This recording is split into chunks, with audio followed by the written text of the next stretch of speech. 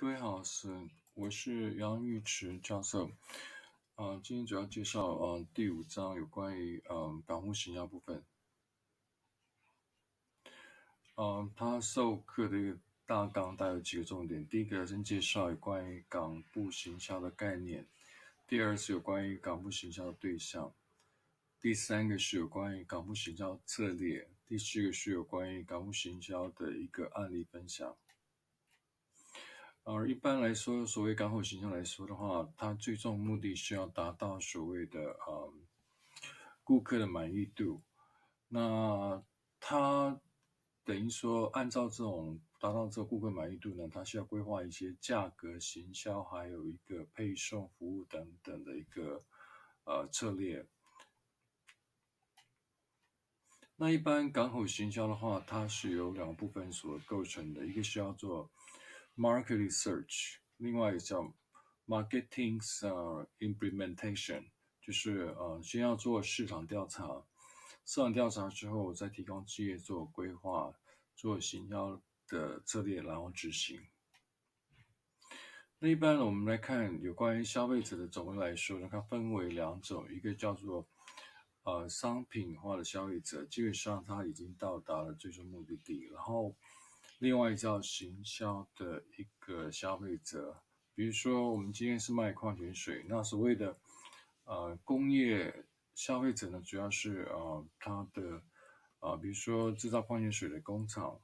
那商品的消费者呢，相对比较多，它属于是流通的一个市场等等，那当然就很多了。那一般我们在谈到购买者的一个决策来说的话，大概有几个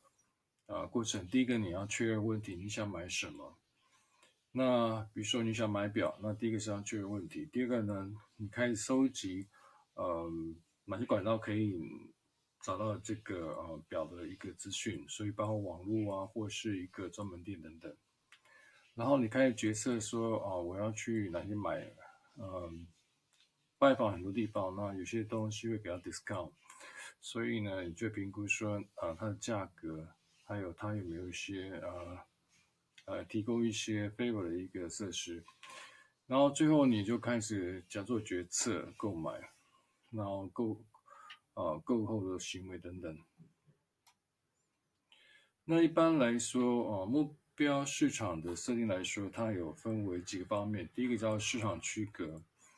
然后呢，呃呃，接着呢，你是按照你的市场区隔里面的一些变数，比如说按照年龄、价格等等来做。那当然对港口来讲就不太一样，它比较可能涉及到比如区域性的问题，然后还有就是呃，产品有分为货柜啊、散装啊、杂货等等。那当然还有第二个就是开始你要选择，就像切豆腐一样呢，啊、你根据市场区隔就选定你的目标。选定目标就是说，假设你的重点在呃货柜方面，那当然你的行销就会以货柜作为你的一个行销重点，这就是所谓的产品定位。那一般来说，呃，传统的一个港口行销对象好像是航商，所以呢，呃，航商停靠航线之后呢，就是会带了一些货物进来。那当然，对航商来讲，它所涉及考虑的因素蛮多的，包括一些费率啊、作业效率啊、货源等等，都是它考量因素。当然，最重要的是，啊、货量部分还有市场需求。啊、这个表格呢是显示有关于航商在选择港口的一些考量因素。啊、从过去的一九八二年的啊 W 学者里面说的航海的距离等等。遇到呃所谓的呃 Murphy 的呃一九八七年的什么港务设施啦，一九九二年的超大的规格啊，还有一些韩国学者提出的想法，还包括国内学者提出什么硬体软体啊，还有一些韩国学者在一九九年九九年所提出的护卫港口地理位置等等，都有很多学者在做这方面研究。那一般航商我们所知道，好像是一般的呃大的航商，其实还有包括 feeder 啊、货运输业者，都算是啊很重要一个对象。那当然谈到货主方面的话，嗯，这是要最主要是根据我们在呃买卖契约的所谓 trade term trade term 里面，所谓贸易条件里面所规划的，就是呃有些属于出口商的一个呃嗯货主有个指定权，刚货指定权，比如说在 ESW 啊或是 F F 条件等等，基本上有买方对啊它具有所谓港口指定权的部分。对于自于 C 条件跟所谓的 D 条件呢，它是由卖方，所以这个就是啊定位了你所说的就是呃哪一个货主呢，他有所谓港口执行权，就是你重要形象对象。啊，这是另外在二零一二年的时候有些贸易条件做改变的部分。那有些贸易条件呢，它是比较适应受认可的运输模式。那有些是专对海运为主啊，比如说 CFR 或者 CIF，啊，甚至有些是 FSFOB 等等。那港口型号策略其实啊，在过去所看的资料里面，一九九五年的呃，在 UNCTAD 所提出的港口型号策略里面，跟比利时的呃 J 呃 Jent 大学的 s o f e r m a n 所提出的东西概念蛮像的。当初呢，他们在行销策略里面只有交代所谓的产品，所谓 products，还有价格 price，promotion，嗯，至于在 place 方面并没有提到，所以后来呃，最后来在所看到有关日本、韩国学者呢，他们在提到有关 place 部分呢，就会用他们国家的一个 case 来做说明的。嗯，这个是嗯。在呃港口行销这类部分，比如说三上彻是日本学者在一九九一年所看到的，他的产品当产品策略主要讲当时的日本的情况，需要二十四小时监督通关便利性，而价格主要讲的是费力跟价格，而促销当时也不完整，包括广告公关等等，通路主要透过所谓的啊母船跟 feed 的运输。呃，在 UNCTAD 的一九九五年呢，它讲的是比较多，包括产品策略、包括地理位置、航道等等，价格呢是包括预估的成本，还有竞争。那促销策略比较完整，从广告一直到所谓的国际新闻啊，或是办一些组织会议等等手段。嗯，通路策略呢，就是没有说到。呃，朱君元是台湾的学者，那他啊提供是有关于呃在所谓的高高效率的部分，然后价格主要谈价格，那营销策略部分呢，促销策略呢是跟跟所谓 UNCT 所公布的内容大同小异。那至于通路部分呢，主要讲是所谓的海关减少干扰等等。然后学者呢，其实也差不多。那当然韩国。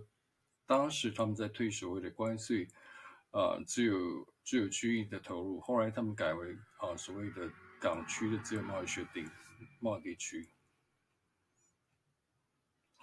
而第四部分呢，主要介绍有关港口行销策略案例。啊，它首先要介绍是有关于鹿特丹，啊，其次是汉堡、安德卫布港、福山的部分。鹿特丹呢，它一般会成立所谓的 Port Sale Mission 这个嗯组织，那它是有很多专业公司啊，或是海海运中介商，或是一个呃顾问公司等等，去跟所谓地方自治的相关呃关系者，包括市政府还有港口的开发机构组合的。那当然，它主要对象就是啊，把港口的一个啊办所谓海外的说明会比较多。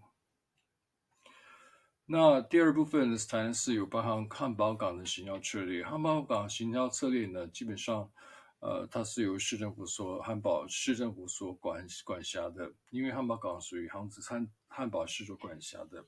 所所以呢，所汉堡港的它有个宣传部是由第一个会长，委员有十一名，还有国内的三个办事处，还有国外的十一个分公司分分会来做行销策略。那汉堡港它主要做宣传业务，包括就是资料收集、关乡机关的一个拜访，还当然要做是有关于所谓的市场调查跟市场的策略，还有就是呃有关于它的一个呃港口的提供的一些服务等等，都是他的询问对象。第三部分呢是有关于安德卫港、安德卫普港的一个港口巡销，它是叫成立叫一个协会，叫做 Port of Antwerp 呃 Promotion Association。这个单位有十二名的一个理事与成员所组成的，包括港口的使用者，还有服务单位。那当然也是一样，也在收集情资，然后定期发表一些刊物，然后呢还有举办所谓的会议，然后说明会等等。这张刊物叫 Hinterland，就是背后腹地。那有十个国译文来做说明、做行销。那当然就是提供定期提供一些服务，然后甚至教育训练活动等等。